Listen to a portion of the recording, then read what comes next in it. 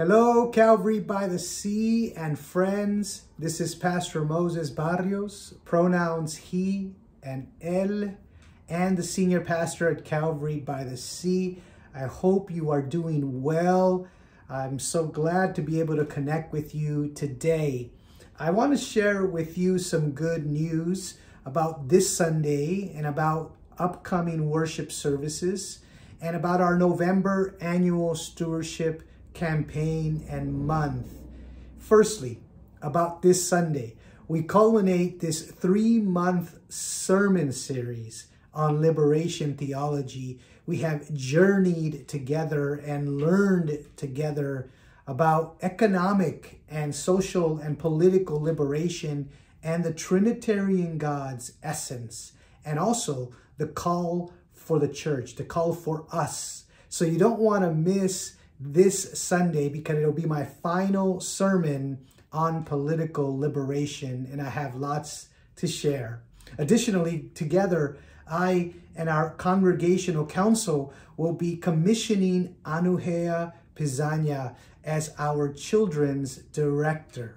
Is that's exciting news, right? We are so excited too as uh, this new role enters our congregation as a children's committee and a congregational council in our pastoral staff and ministry team. We made the spiritual and strategic decision to invest in our children's future. Did you hear me?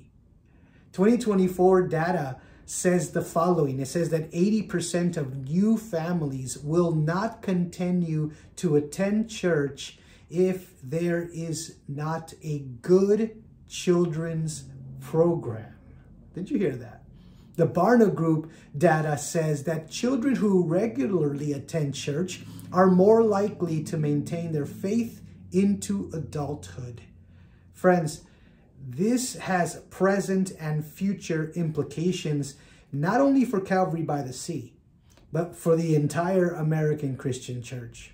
So I want to encourage you to be on the lookout for committee chair Nate Maxwell Doherty, his, his presentation on children's ministry. It's going to be a video to better understand this new role. We're excited about that.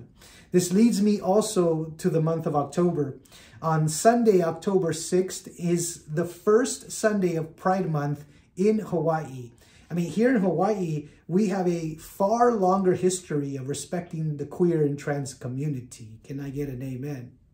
Valuing every single individual. And some might ask, why do we celebrate Pride Month in October and not June like the rest of the continent? Well, here in Honolulu, Pride Month is celebrated in October because it coincides with LGBT History Month with National Coming Out Day and also Spirit Day. And it all culminates on Saturday, October 19th at the Pride Festival, which we are part of and will be part of. If you have not signed up, please go to sign up to be either part of the parade or the booth.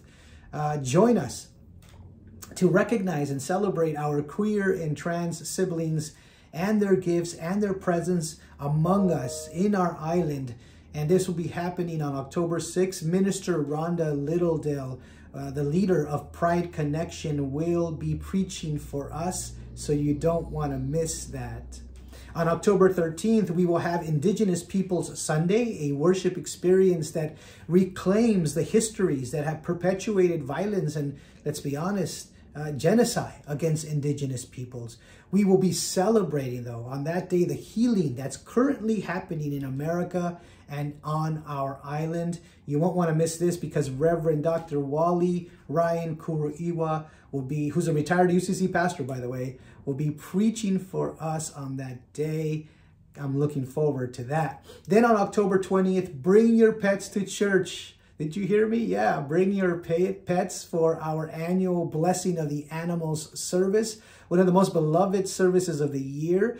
We will be ending by the ocean side as well as we as, as we bless all the animals.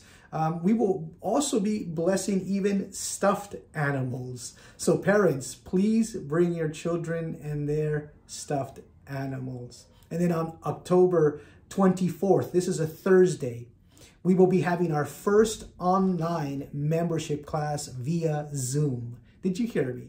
It'll be amazing. If you have been attending worship online or on campus, this is for you. Perhaps you want to learn more about our Lutheranism or about our history or where we are headed in the coming year. Then please come all are welcome. Send us an email to info at calvarybythesea.org or sign up at the Welcome Center to let us know you are coming. We will email you some documents. Minister Grace and I will be leading the conversation. Come and learn more about our church, about our mission and values, and how to become part of our spiritual family. Then on October uh, 27th. This will be Reformation Sunday.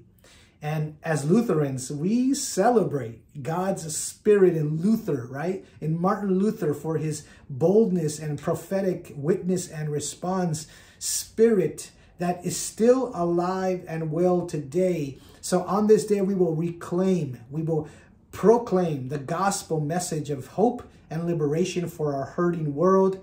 And we know as the election voting gets on the way around that time that we need the good news of Jesus Christ that only perpetuates, only spreads love and justice.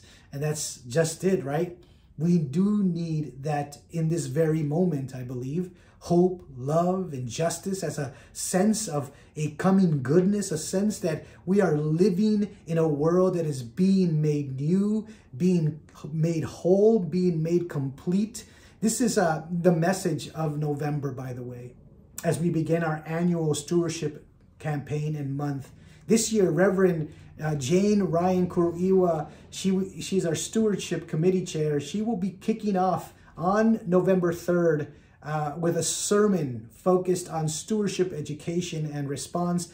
On November 10th, I will pick up from there. I'll be preaching on that Sunday. And then on November 17th, Minister Grace will be wrapping up this conversation about how we can join in God's mission for CBTS in 2025 so good, so good, right? The, the season that we are in, uh, the season that we are heading into, so many opportunities to engage, to participate, uh, so many opportunities to connect with one another, to hear one another's stories. If you have not joined an Ohana group, join an Ohana group. Remember, you are welcome here. You are loved. You are safe and God is happy with you. Blessings on this day and hope to see you around. Much love and much love. God bless.